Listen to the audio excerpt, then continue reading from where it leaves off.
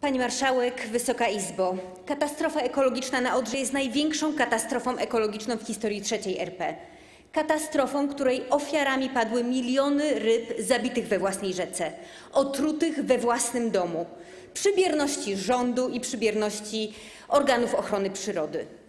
Ucierpieli także przedsiębiorcy, a dzisiaj rząd chce im dać po prostu jednorazową jałmużnę, która niczego nie rozwiąże. Przedsiębiorcy potrzebują kompleksowego programu osłonowego. Ta katastrofa będzie jeszcze trwała. Na dnie Odry leżą setki tysięcy martwych ryb. To będzie wtórne zakażenie. Ta sprawa się nie skończyła. Pomyślcie o kompleksowych rozwiązaniach. My jako opozycja będziemy składać odpowiednie poprawki.